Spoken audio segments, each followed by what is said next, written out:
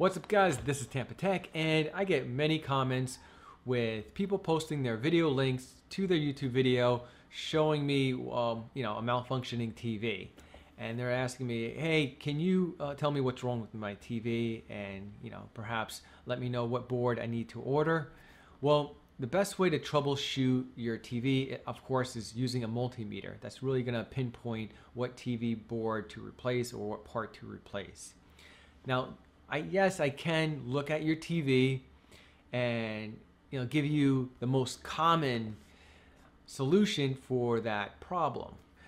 So this video is really targeted to those people sending me all these video links to their malfunctioning TVs, uh, asking me, hey, what board do I need to replace? Now, it may not be your that solution for that particular TV, but I could give you uh, a general idea what you know where to look. Hopefully this video will help you out. If it does, give me a big thumbs up and that helps me out. And if you know anyone that has a malfunctioning TV and then this video may help them, click on the share button below and share this video to them. Help someone out. Let's go ahead and get started. Now if your TV doesn't turn on and you have no power, and no standby light, that could indicate that you have a bad power cord or bad power board or bad main logic board. So you really, without a multimeter, you can't find out for sure where that issue is coming from. Now right here, we have the most common TVs, which are LED TVs and LCD TVs. Both TVs have an LCD screen, which is controlled by the T-Con board. And uh, both TVs have a backlight circuit, but they're different. The LED TVs have LED strips, which are controlled by the LED driver board, and LCD TVs have inverter boards that control the CCFL tubes in the backlight circuit, which gives you that glow on the screen. On the upper left, we have a LED TV with the LED driver board in the middle, as you see. And then on the bottom left, you don't see any backlight board because that backlight circuit board is built into the power board, so keep that in mind. And uh, on the right, we have LCD TVs. You see the inverter board on the left, and on the bottom right TV, you see the inverter board in the middle. Now the T-Con board could be located on the top or the bottom of the TV, usually located in the middle top or middle bottom of the TV. They're connected to the LCD screen and controls the LCD screen. Now, if you have a picture that looks like this, uh, ink blots on the screen, and there's like a U-shape crack in the middle, then your screen is damaged. Very expensive repair. If your TV is broken, I highly suggest selling your TV broken for $50, $100 or sell the TV boards on eBay for around $20 a piece. They really don't sell LCD screens for TVs to consumers, unlike phone LCD screens and laptop LCD screens that you would find normally on Amazon or eBay. If you have a half picture or line half lines on the screen, then you most likely have a bad T-Con board or bad T-Con connections. If you have all lines, vertical lines going up and down on your on your screen, then most likely you have a bad T-Con board or bad T-Con connections going to your LCD screen.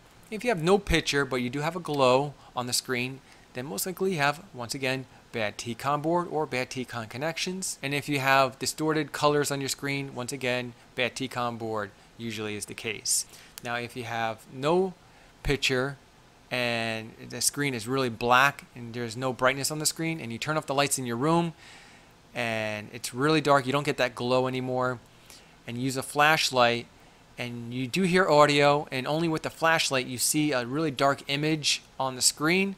Then that means your backlight circuit is bad. It could be bad inverter board or bad LED driver board or bad uh, you know you could have bad uh, LED strips in your backlight circuit I made a video, a separate video, how to switch out your LED strips.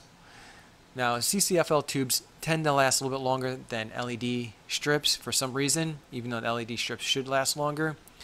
In my case, I've been swapping out a lot of LED strips. Uh, also, if you have purple dots all over, the, all over your screen, that could indicate that you have bad capacitors in your power supply. You open up uh, the back, take off the back cover, and you take a look. And when you take a look, you'll see bulge capacitors. They're bubbled on top, basically. Or they could be bubbled underneath.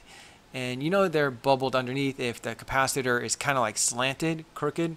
Sometimes you'll have that clicking on and off. If your TV's clicking on and off, then once again, most likely it's bad capacitors in your uh, power supply circuit.